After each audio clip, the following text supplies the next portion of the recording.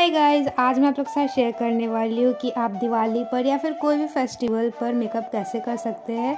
ये मेकअप बहुत ही ज़्यादा इजी है एंड आप इसे अफोर्डेबल प्रोडक्ट के साथ क्रिएट कर सकते हैं। तो चलिए शुरू करते so हैं। फ़र्स्ट हम यूज़ करेंगे प्राइमर यहाँ पे मैंने लिए हैं मार्स का प्राइमर देन हम कंसीलर लगाएँगे। देन फाउंडेशन आप कोई सा भी फाउंडेशन लग सकते हो। एंड आप अपने स्किन के टोन के हिसाब से लीजिएगा, नहीं तो आप कुछ और दिखने लगेंगे भूत वूत जैसा। देन मैं यहाँ पे यूज़ कर रही हूँ कंटोरिंग ये हम इसलिए यूज़ करते हैं ताकि जो हमारा फेस कट रहता है फेस का डिफ़ाइन करते हैं।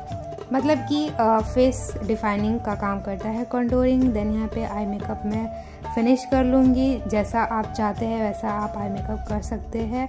एंड यहाँ पे मैं यूज़ कर रही हूँ ब्लश ब्लश के लिए मैंने लिए है लिपस्टिक जी हाँ अगर आपके पास ब्लशर नहीं है तो आप लिपस्टिक लिपस्टिक से भी ब्लश लगा सकते हैं।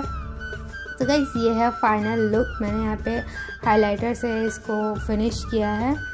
सो so, ये है सबसे इजी दिवाली मेकअप लुक कैसा लगा बताइएगा।